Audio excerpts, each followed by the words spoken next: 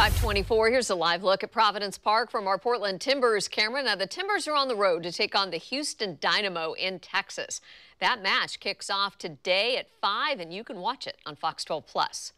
But the Portland Thorns will be at home this weekend hosting the Washington Spirit. Our Nick Krupke sat down for a chat with PTFC's second year star out of Washington State University after Morgan Weaver suited up in front of last Sunday's NWSL record crowd of 27,000 plus in Seattle.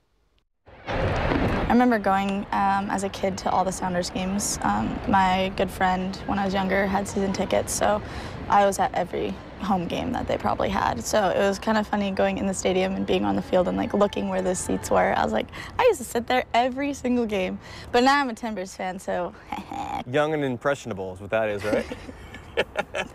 the whole matches now the fans can come back we've seen your family members sitting about right here that can root you on yeah that was so missed a year ago what bliss does that bring you that your family can just roll down i-5 and, and check you out morgan weaver got a touch to the ball can she get it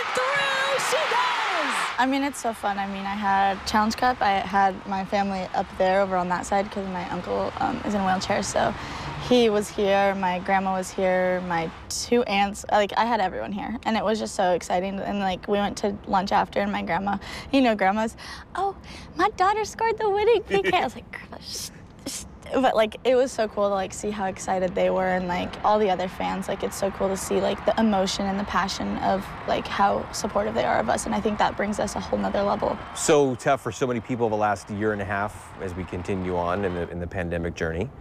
You became uh, dog mom times two luna and lucky. How have they enriched your lives? Dog mom times two. Yes i am a mother.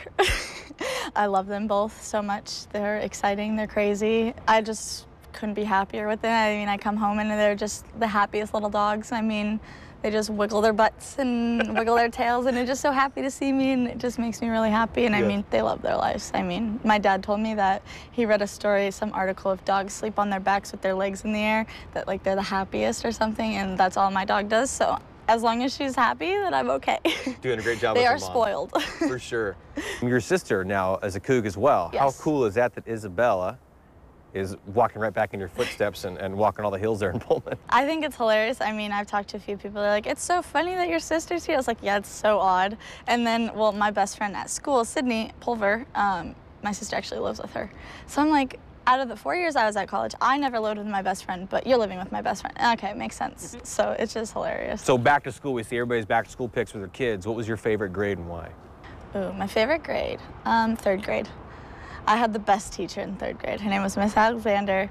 She was my favorite person, and the best was because I used to be a Husky fan. I apologize. Oh. But I used to be a Husky fan, and I told her I'd never go to Wazoo and ever anything, and she's a huge Coug.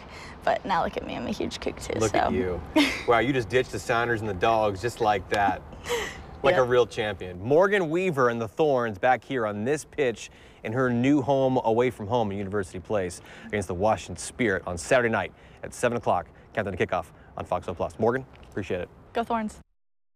I like the way she rolls. You can catch the Thorns and Spirit on Fox 12 Plus at 7.30.